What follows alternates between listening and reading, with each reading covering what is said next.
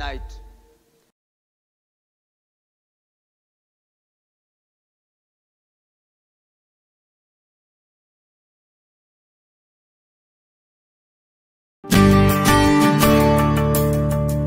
God alone be the glory. Uh, I want you to understand, every one of us here, that uh, every man of God that is standing here, they have their, everyone has their own dimension of bringing the message home on area of sonship. Our father started yesterday and is speaking in every day his session is the manifestation of the sons of God. Amen. And uh, I will be I will be coming to us in every session I get on the message title Types of Sons. My sonship message will be so much not on the um, uh, uh, sons of God or the sons of God in the body, the whole body ministry, lakini mostly nitakuwa nakuja kwetu kwa kuzungumzia sana kuhusu wana wa nyumba the sons of God, but in a local church. Is that okay? Is that okay?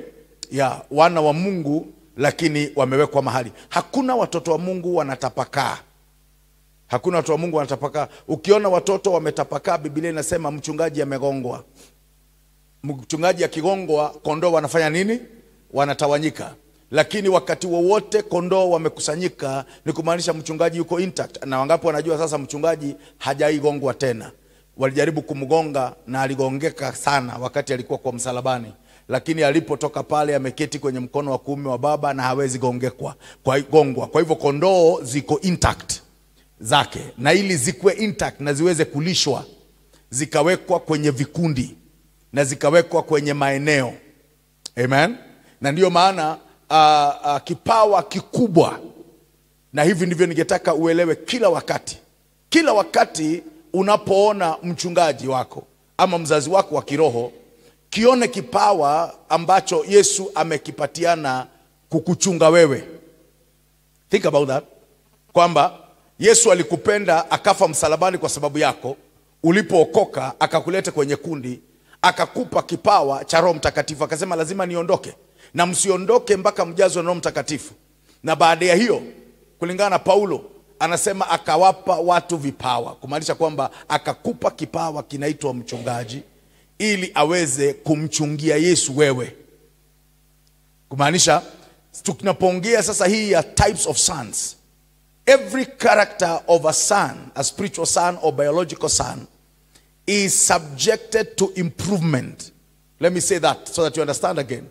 Hakuna tabia ya any son yenye haiwezi kuwa improved. Hakuna tabia ya mkristo yeyote ambayo haiwezi ikabadilika.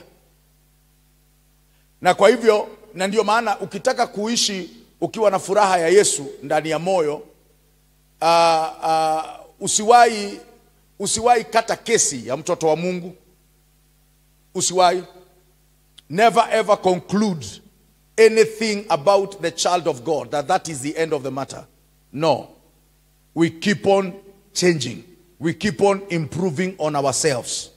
Praise the name of Jesus. Let me ask this. Uh, uh, I don't want to ask for a show of hand, but how many of you know that there is a time you struggle to pray for 10 minutes? Did you, did, were you in that stage before? Mpaka saa zingine unakuja kwa mkutano unasikia umegongwa. Mimi nakumbuka siku moja mhubiri fulani nilikuwa nang'eng'ana sana mambo ya kufunga, na huyu mhubiri alikuwa wale wanafunga sana. Sasa akasema maombi ya siku tatu ya kufunga hiyo inakuaga ya watoto wake nyumbani, ndio wanafunga siku tatu, na mke wake akiwa mjamzito. Kai, saa hizo mimi ninafunga, ikifika saa tisa nasikia visu vinanolewa kwa tumbo, nasikia, nasikia majembe, na yeye anasema hivyo.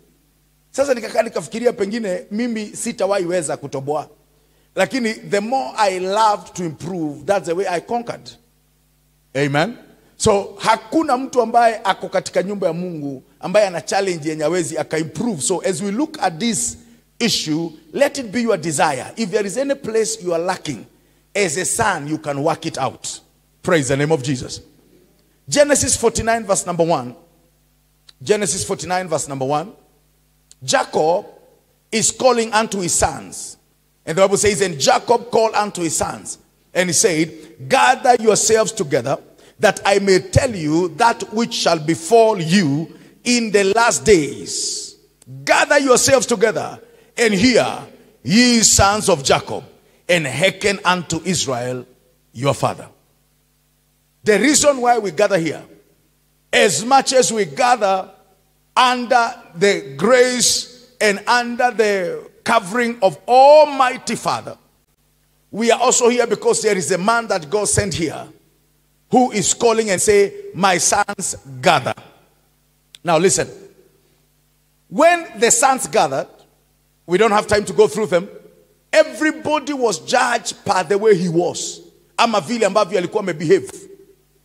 Kumaanisha hata kama majority yao, kwa sababu wana wengi, wana kumi walikuwa walea, you know, Lea na Jacob, kumaanisha walikuwa majority yao walikuwa wamezaliwa na, or let me put this way, majority ya sons walikuwa wa Jacob. Uh, sorry, there's a majority. The sons were of Jacob. They were of different women. One had majority, Leah, but they were all Jacob's sons. But they behaved differently. They behaved how? Differently. Mtu mwenye anafikiria kwamba mkiwa kwa church na nyinyi ni spiritual sons wa one pastor that you behave the same, you are mistaken. Hakuna mahali ambapo watoto hata wenye wewe umezaa mwenyewe uko hapo una watoto hawabehavigi same na unazaa kuona tabia yao wakiwa wadogo wakigrow una realize kwamba they are not the same they are not the same. You see? So there are types of sons. But let me say this. Every son can improve on the area of their weaknesses. Every son. So let's look at this. We will look at five types of son in the next uh, sons in the next few minutes. Alafu baadaye tutakuwa tunafungua hiyo session ya kwanza tuingie katika pili number one is a son tunamwita a wise son. A wise son. Proverbs chapter 10 verse 1 a wise son. The proverbs of solomon. A wise son maketh a glad father. But a foolish son is a heaviness of his mother. So we have a wise son. He, okay, Proverbs chapter 10, verse 1. Sorry, 10, verse 1. It says, A wise son maketh a glad father, but a foolish son is the heaviness of his father. A wise son. Now, let me say this the wisdom of a son is not to be declared. You don't declare yourself wise. Wisdom is not by declaration. Wisdom is by the other party confirming. Wacha niseme kwa Kiswahili, huwezi tangaza useme kwamba mimi ni mwerevu. Hapana, werevu wa mtu hutangazwa na wengine. Hata tulipokuwa darasani, Mtu mmoja alikuwa anashika na bwana anapiga kifua anasema mimi ni mwerevu. Nilikuwa anasema unaona ule jamaa muogope na hesabu. Ule jamaa ni mwerevu sana. Wisdom ya son haionekani kwa kuongea sana, inaonekana kwa kutenda. Na maongezi ya sons huwa yako na wisdom.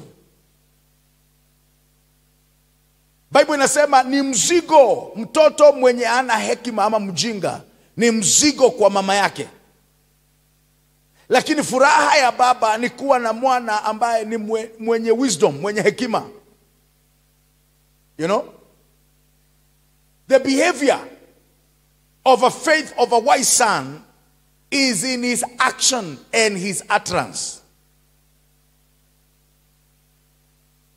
Hekima ya mwana aliye naye inaonekana kwa mwenendo wake na kwa maongeo yake.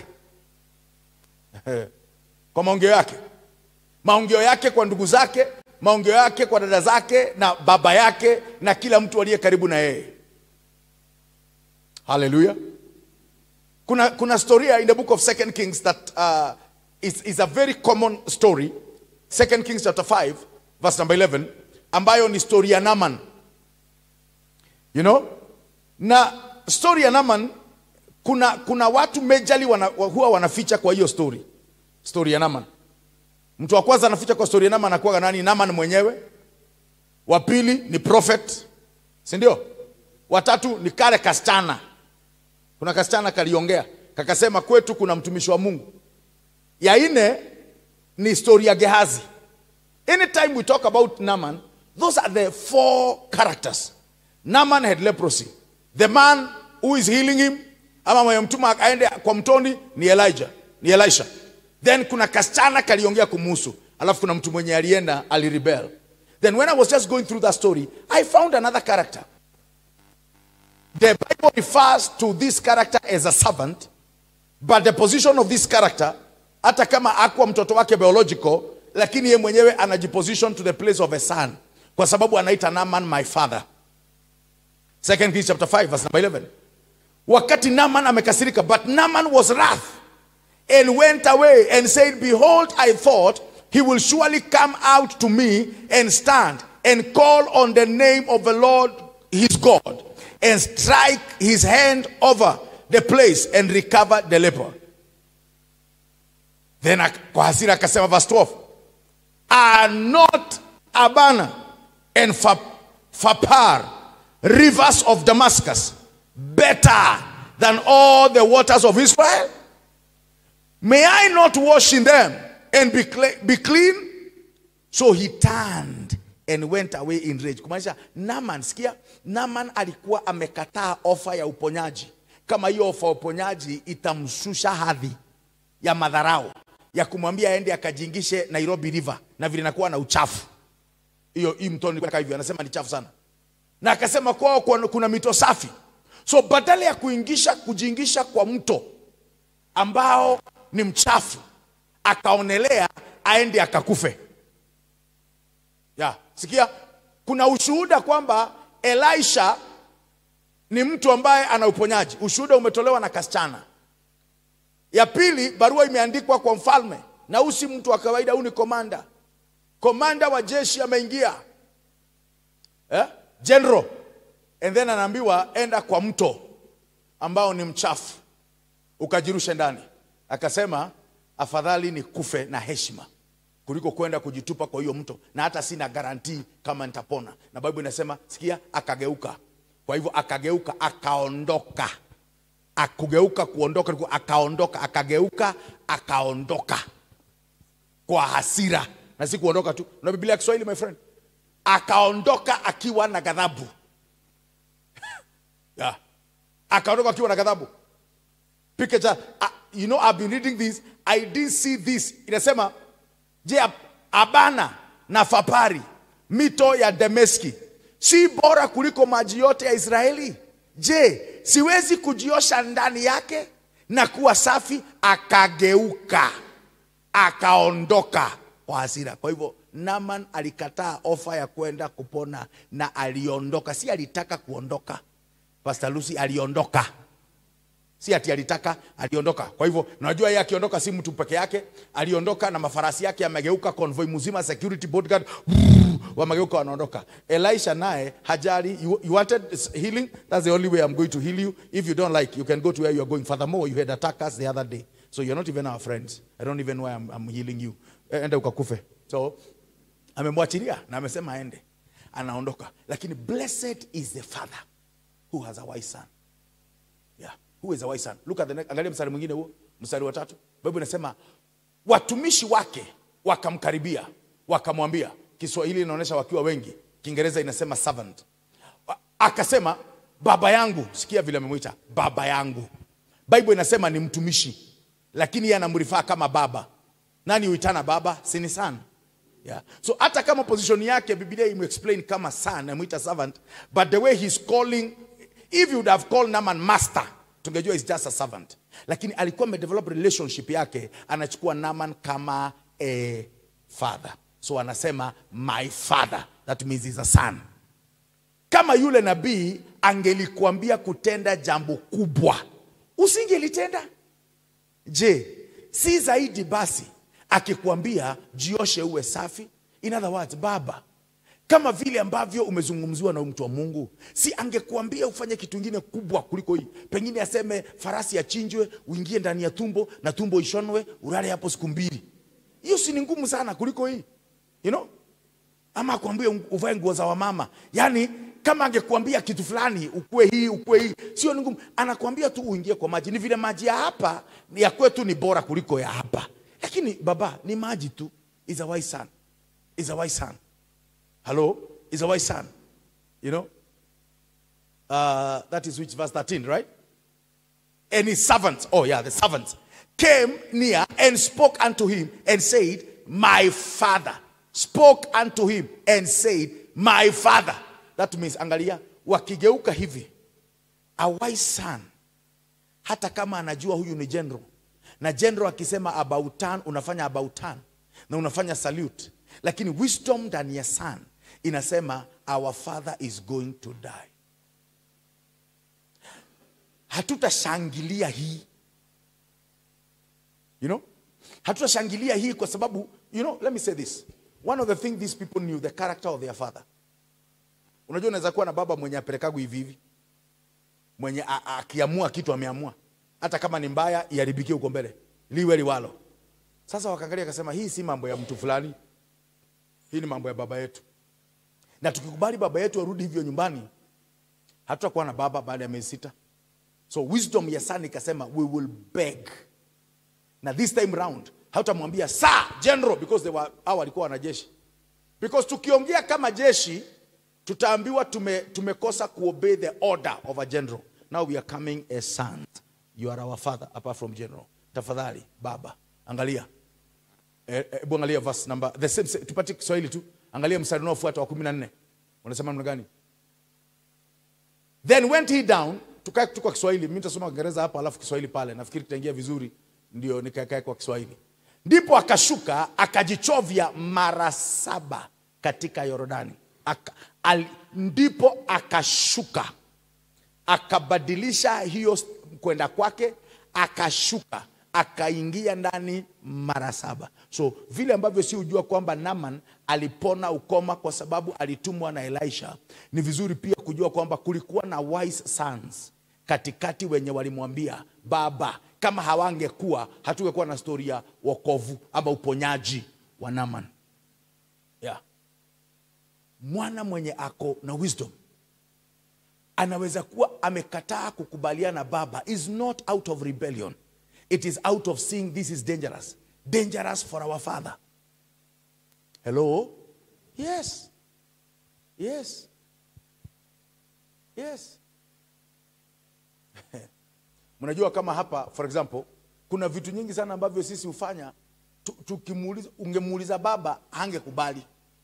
Kwa mfano hakuna wakati tushawahi consult baba tukifeel ama mhubiri yote akija hapa afeel kumuitishia sadaka juu hawezi kubali ukimuuliza hawezi kubali na atakuonyesha why you should not do it.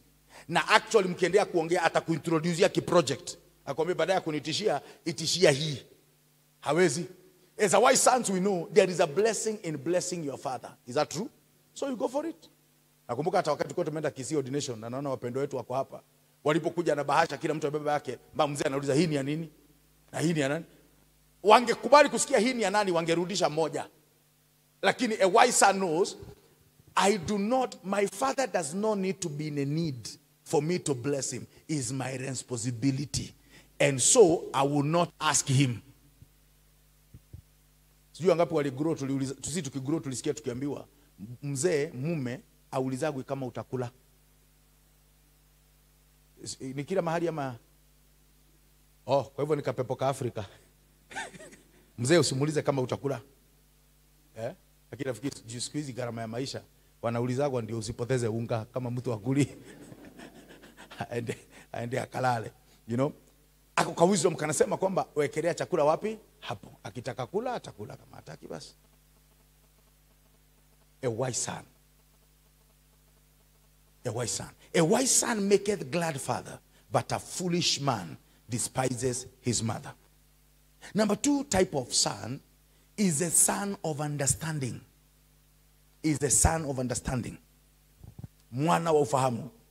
Proverbs 5 verse 1 my son attend unto my wisdom and bow thine ear to my understanding. Kwa kiswahili tupatie ndio tuone vile itakavyotoa hiyo. You know my son attend unto my wisdom and bow thy ear to my understanding.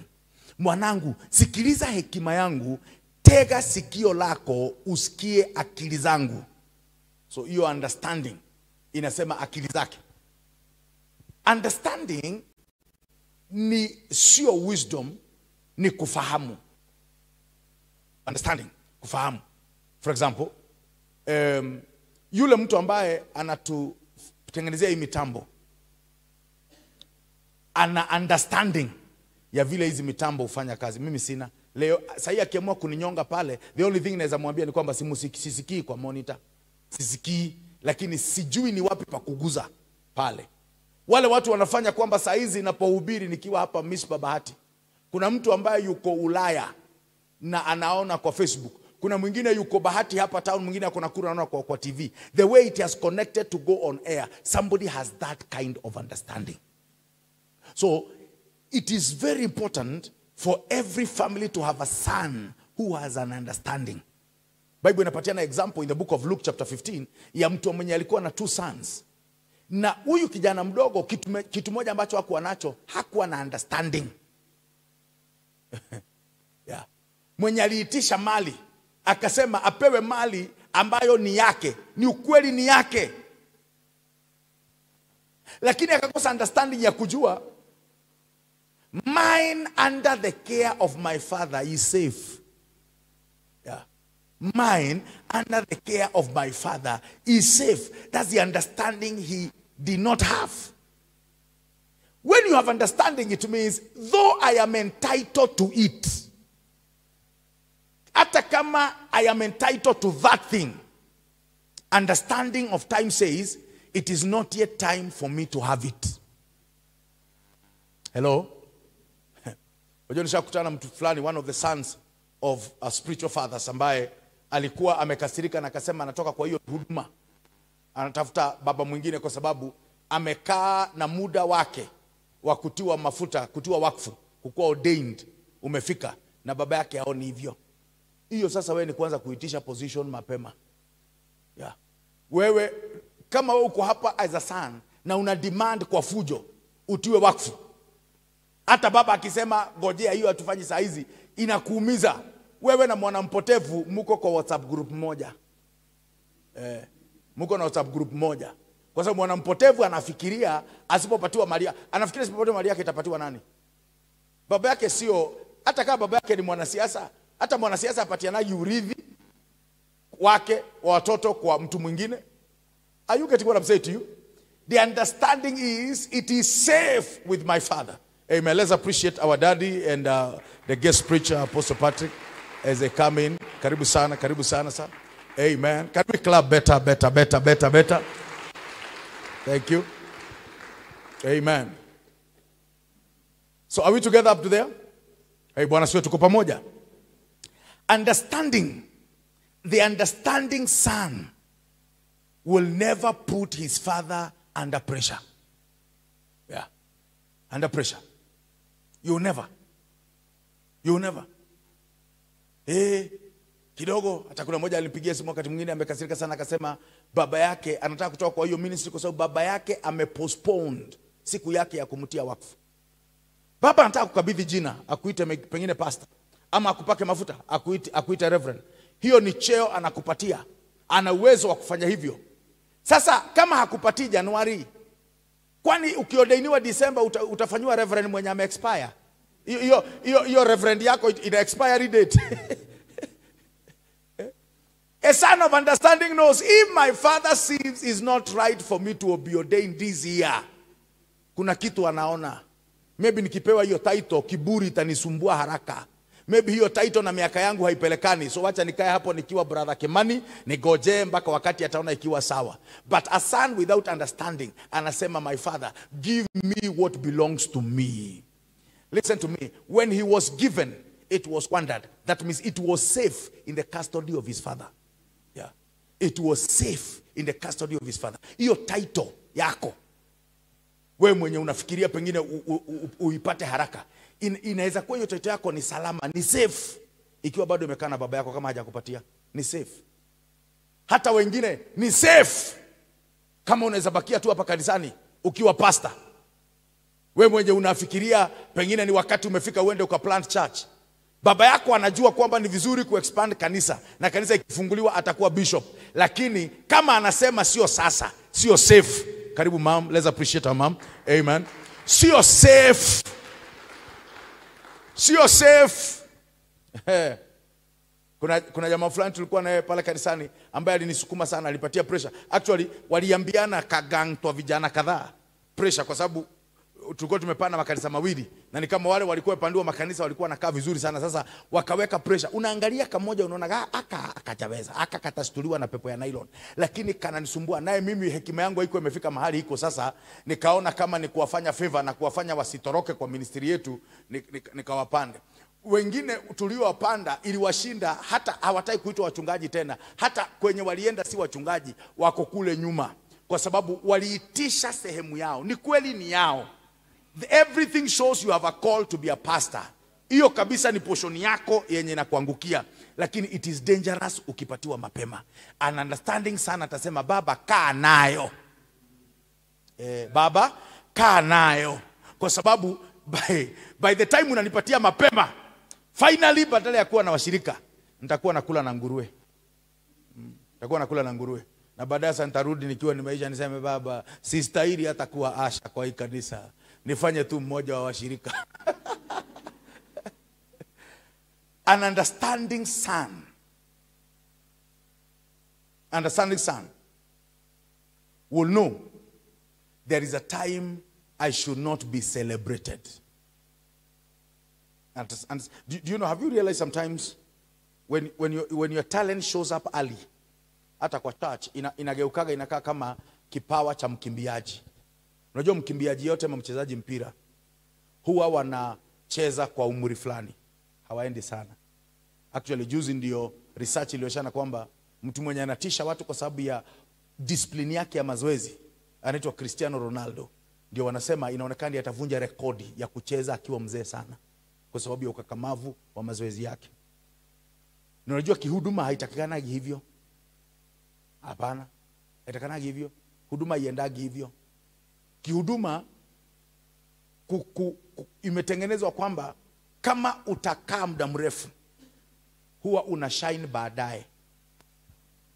Nilikuwa naongelesha wahubiri fulani wa young, young preachers wakati ule nikamwambia tokeni kwa majaribu ya kutaka kutoshana na wakubwa wetu waliokuwa wakichapa injili tukiwa kwa tumbo za mama yetu, kwa sababu itakuongoza kuiba, kuharibu injili, kutengeneza maskripta zingine za kutoa zenye si za kikawaida. Utaanza kucharge eh, visiting fee eh, eh, eh, eh, eh, appearance fee eh, climbing the stairs of the altar fee, kwa sababu unataka lile gari limekuja na mtu mwenye amechapa injili miaka hamsini na we uliendeshe leo, so itakuweka kwenye presha ya madeni.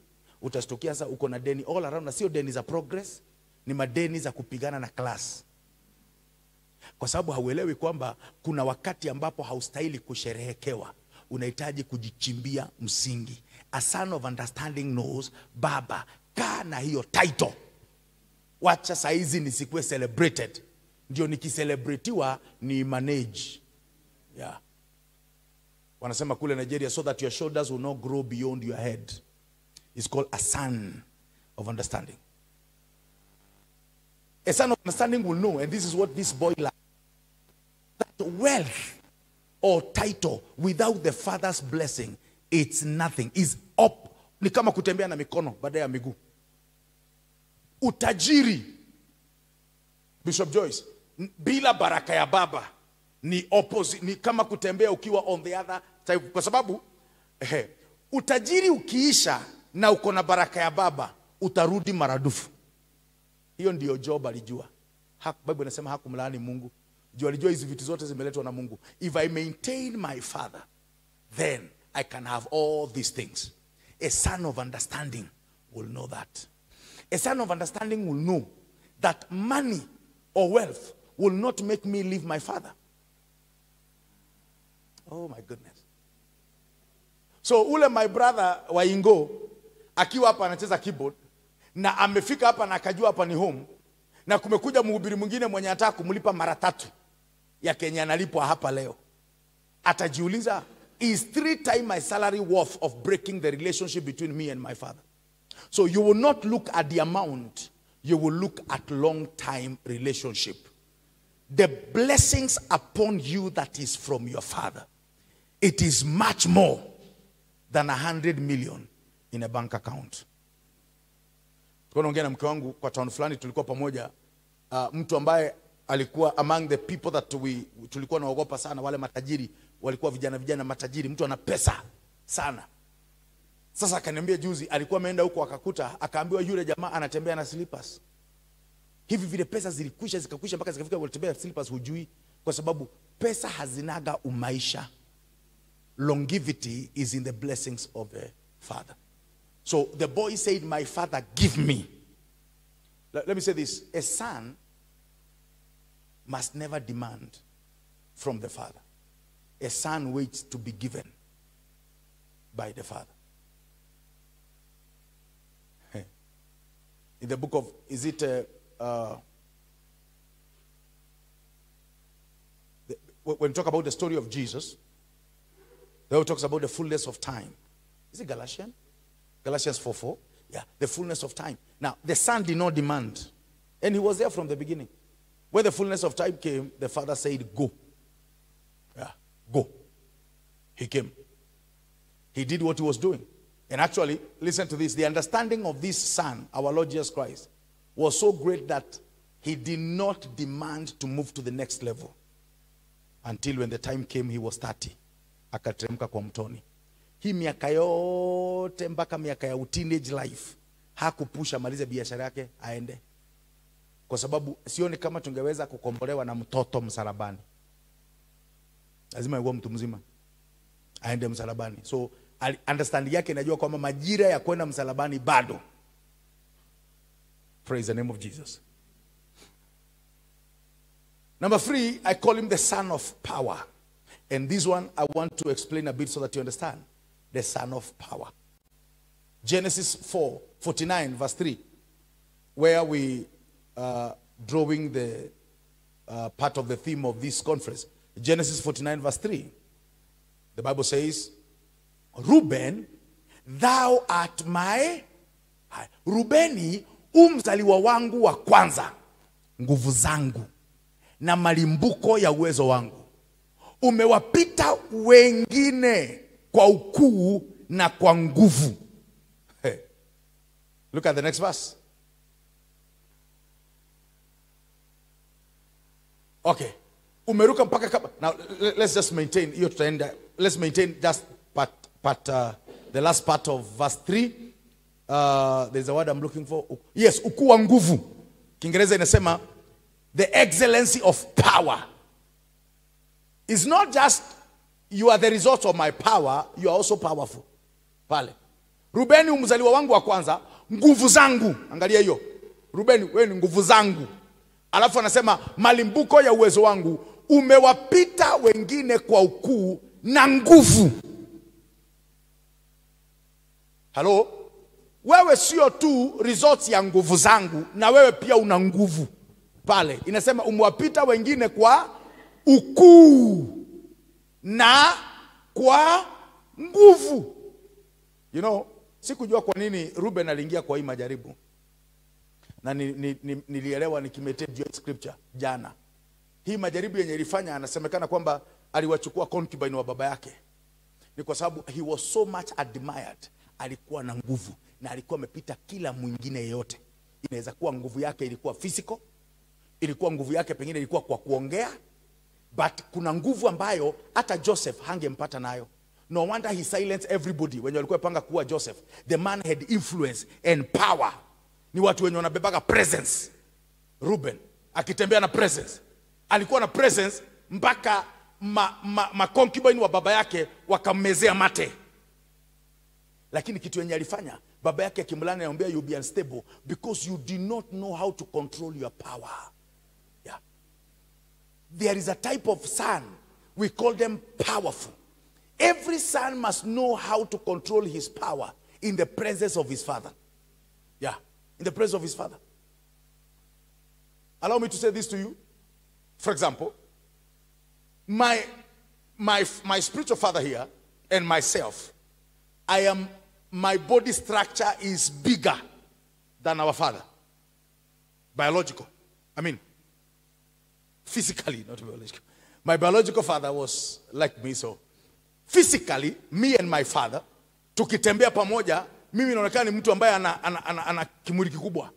So all the time kuna vile mimi hukikunja mbele zake, and sihitaji kuambiwa, kwa sababu unless niko hapo kwa sababu ya ku, kuleta security, nimempeleka mkutano, basi nitakifurisha kifua, lakini hakiwezi fura mbele yake.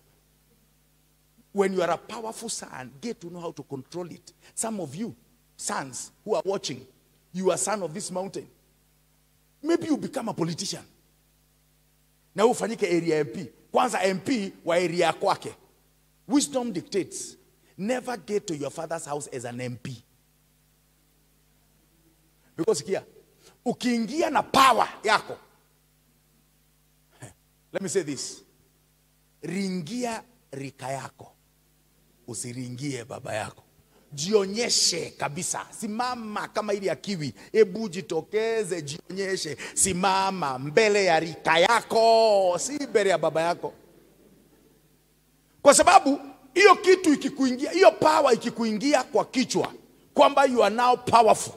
Na baba ana confirm hata the reason uliweza ukaninyang'anya mpaka hawa warembo my son wewe uko na power sana. Baba yako atabishana na wewe wakati ule una manifest your power. Atafanya trick ya jacob. Jacob did a trick that is very dangerous. Hakukanya ruben. Alinotice kenye amefanya na hakumwambia. Aligojea mpaka azeeke. Wakati ya kuwakitana nataka kwenda.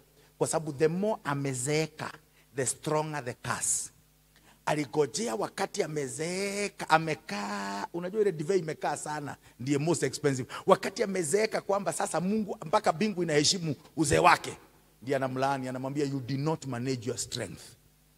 Yeah. you did not manage your strength. Unaweza kuwa wachungaji wenye wako hapa unaweza kuta mungu amekupatia a daughter in church mwenye kuna strength sana. Yaani mpaka wewe kama wewe ni pastor mwanaume huyo pastor chair lady huwa anasikiwa na wamama kuliko waifi yako. Waifi yako akisema wamama wabaki wanabaki watatu. Yeye akisema wabaki wanabaki mpaka wenye si wamama halisi. Wamama watarajiwa. Ya. Wamama ambao wanatarajiwa wao ndio wana, wanabaki. Sasa wacha nikwambie hivi. Kwa sababu ya strength yako baba yako hawezi atakubali tu ukae kwa sababu yeye akikwambia kitu ambia wamama mradi wa kuweka floor ni wao. Inawekagwa kabla hata siku ya harambee ijafika kwa sababu uko na hiyo power sasa kama mwana control your power. Yeah. control your power. Control your power. Kwa sababu ni mzuri kuna kitu nafanya ya maana. Lakini umekosa kuelewa kwamba a son must never exercise his power before his father. Yeah. you don't show how powerful you are in front of your father. So that's why the curse that was pronounced on Reuben was to tackle his strength and ability. Aliambiwa unstable as water. You shall not excel because you only manifest your strength in stability. Yeah. Control it. Wengine wetu, I've learned with an experience of one of the longest loyal associate minister in a particular ministry yeye ako na branch yake ana pastor in a certain town a very big church then every time because I've, I've been into their conference live I've discovered kwamba the way he preaches on the altar of his father is not the way he preaches on his altar eh, ni wale wa jamaa ikifika ku make declaration unasikia "Woo! power anarusha mikono oh, hallelujah." na, na ana crowd kubwa sana over 25000 people ile conference yao national akirudi kwa main church you will never hear him say shouting power. He will stick within the message na amalize. He, he allows his father to shout power. That means he will never manifest his power when his father is seated. He will manifest power to his children, not to his brothers, in the presence of his father.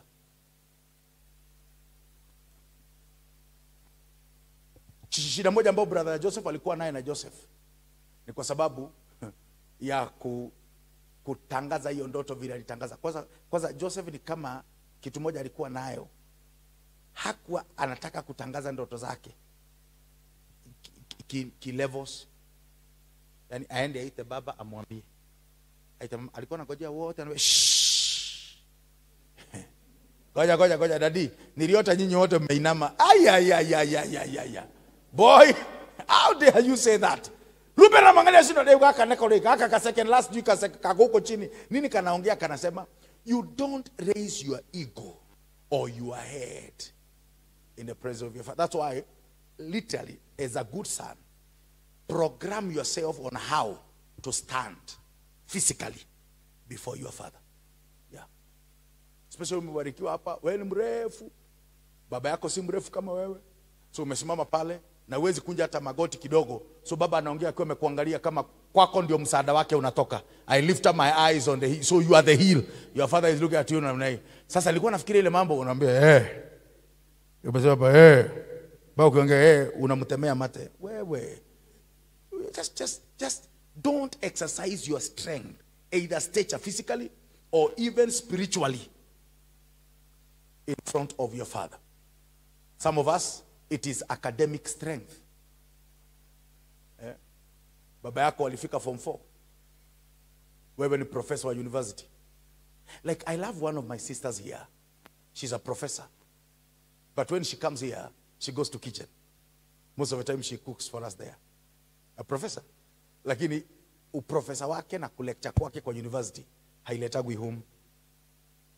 We ni spiritual son we ni askari unakaa kama shika baba. The way you behave kwa uwepo wa baba ni kama uko na pingu special ya, ku, ya kushika baba. Number, number what?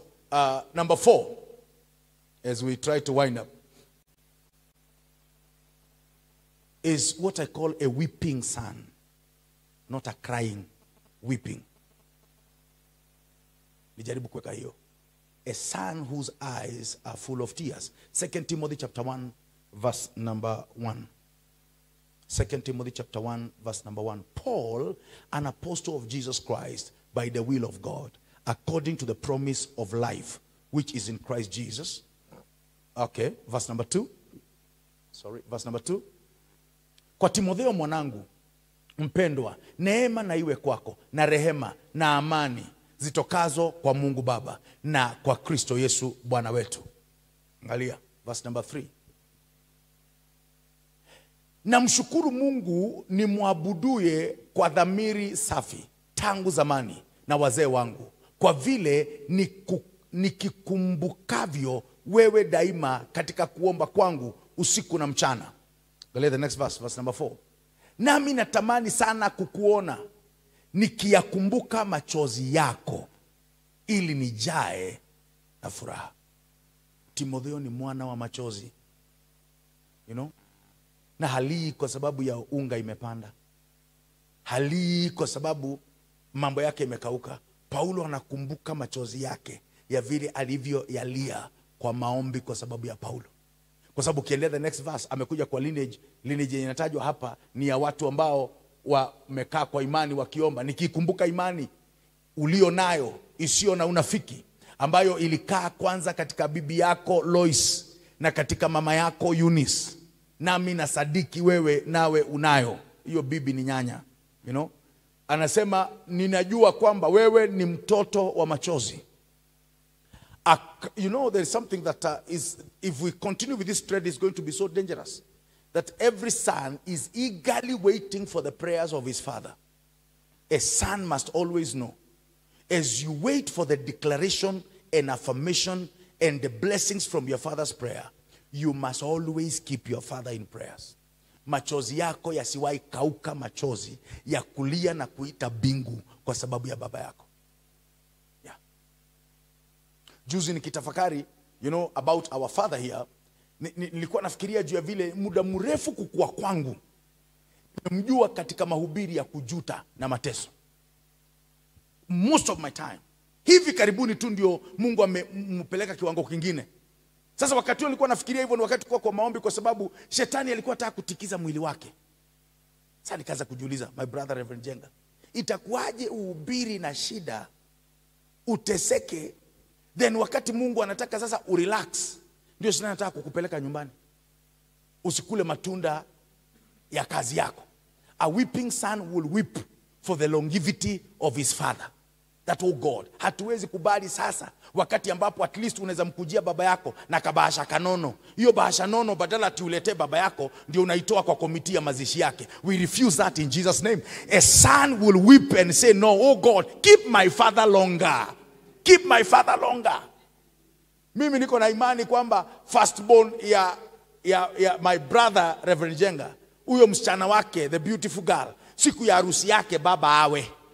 Yeah. Baba awe wewe, ukatae kwanza kumbariki, useme abarikiwe na baba, utamalizia kwa sababu una baba wewe mzazi. Wakae waone watoto wetu wakifanya harusi, na vile ambavyo aliwatoa watoto wa wengine sisi kwa hospitali, atutolee pia wajukuu kwa hospitali, akiwa bado wako strong na macho yanaona. Sasa kwa hiyo kama Timotheo, macho yangu yasiize machozi, machozi iendelee hapo. Anasema nitakuja kwa sababu najua machozi yako. I know. Na najua historia yenu ya watu wenyu vile mnalia. You know, tulikuwa mahali ordination Saturday. Na you know one of the thing I will never forget ni wakati ambapo uh, tulikuwa na wewe, wakati ambapo mwenye kuordainiwa alipatiwa face towels kama sita, nilizihesabu. Sita. Juu yeye anajulikana wa kuomba. Akaambiwa juu tunajua machozi tunakupatia hii ndio machozi isikauke juu umekuwa reverend. Na akapatiwa ka, ka, ka, ka, kale kanini kakupigia magoti ka, ka, ka carpet kapigwa hii endelea kupiga magoti in other words na hawa wanafanya hivi ni wazazi wake sasa wa kiroho mwambie hiyo machozi kwa macho yako usikaushe Ndio sasa tumekufanya reverend uanze kuomba oh god almighty I come before you, oh God. Uh, Endelea tu kulia hiyo machozi yako, hata kama utasema God, semea God kwa machozi yako hapo, praying for your father. You know, let me tell you something. Hakuna kitu ambacho mimi na experience yake kama mzazi wako kujinyima. You know, I remember sisi tukisoma tulikuwa tunafukuzwa shule throughout.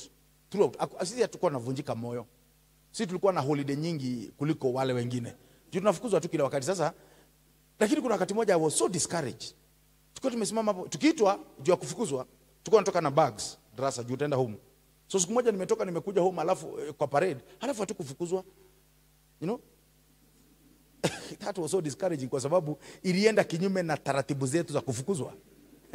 Then wakati tumekaa hapo tumezubaa mwalimu mmoja ambaye alikuwa pia mshirika wetu kanisani akasema uh, tumuone kwa ofisi. Akasema rudini darasa tumeongea na mama yenu, lakini mkitoka nyumbani mkitoka darasa msiende nyumbani mwende kwa shamba yangu. Okay tuko najua shamba yake iko wapi. So tukaenda kwa shamba yake tukakuta mama hapo amelima. So mama alifanya deal na mwalimu eh? Na ujue mzee wangu sasa hapo ni mkubwa wa dini saa hizo. Ni, ni, ni, ni senior elder hapo. Huyu, huyu mtu si elder. Lakini wamefanya deal kwamba apalilie shamba yake sijui ya eka mbili ama tatu. Naye mzee alipe fees. So tulipoenda tukakuta mama amekuja na nguo zetu za nyumbani na hakuna uji hapo na githeri, so tukaenda hapo unajificha hapo nyuma una change alafu unakula getheri na unakunywa uji unachukua jembe mnaendelea mpaka saa moja giza ingie. Ndio mnaambua mtoke you know mwende mwende nyumbani. Sasa hakuna kitu huniuma kwamba alifanya hivyo vyote alafu akafa tukiwa bado wadogo kwamba sasa hivi ha, hashiriki na baraka zangu Are you getting that? It's so painful. Nikiona kwanza wengine wakimba wakienda ati wameenda kuona mama yao, mtu amepelekea mama yake kitenge, na imagine huyu mama mwenye alipalilia ndio tusome. huyu yeah? mama mwenye alikuwa anavaa raba zinakatika. Siku moja alienda kuvunja kuni na ilikuwa imefungwa na serikali akanyaganywa kitambaa. You know, akitoroka kitambaa yake kashikwa na, na nini you know, na ilikuwa hiyo kitambaa ndio ilikuwa mpya na ilikuwa imechukua muda mrefu kabla ya kununuliwa hiyo kitambaa na baba yangu you know?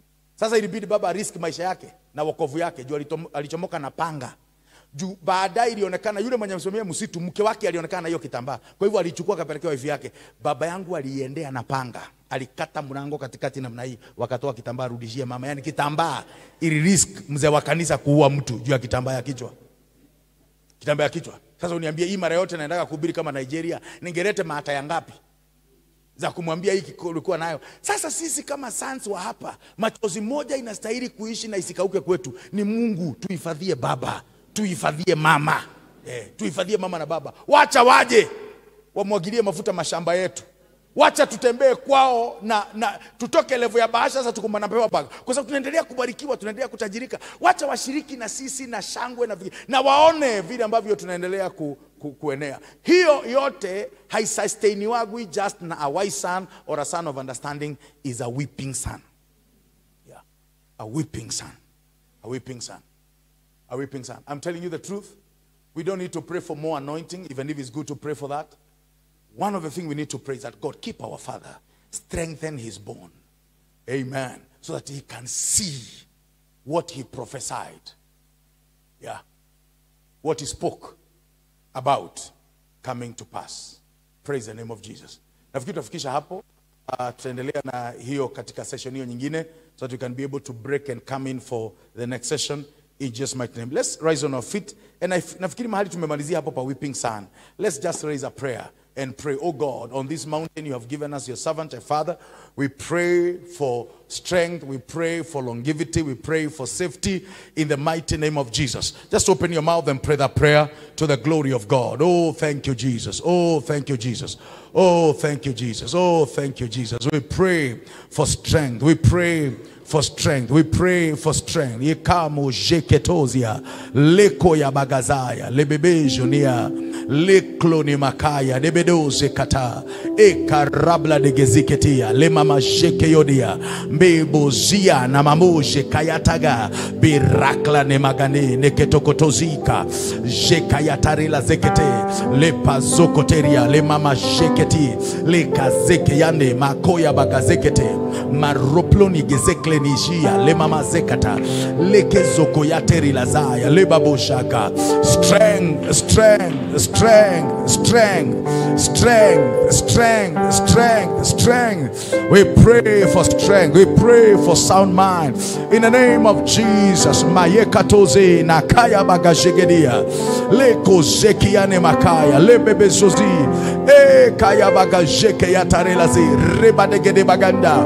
Bagaye bagazoko yate le makaya bagande debo shaka. Le pazoko yateria rebledigezeki yanema sheke yatarela zekredi bagande dede babo sheke yatezia le pozeke lazaya we thank you jesus. We give you praise. We give you glory. We give you honor. We magnify your name. We honor you king jesus. To you be the glory to you be the praise to you be the honor in jesus mighty name we have prayed.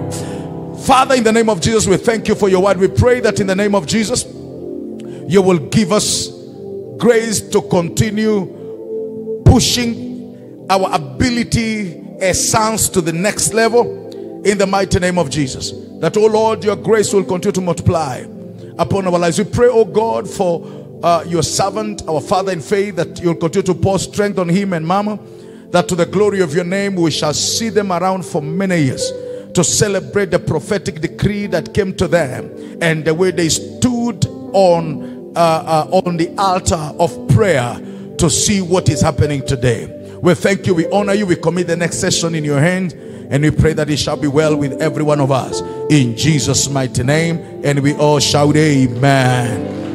A better amen. Let's put our hands together for Jesus. Hallelujah. Amen and amen and amen. I uh we're going to have hallelujah. Let's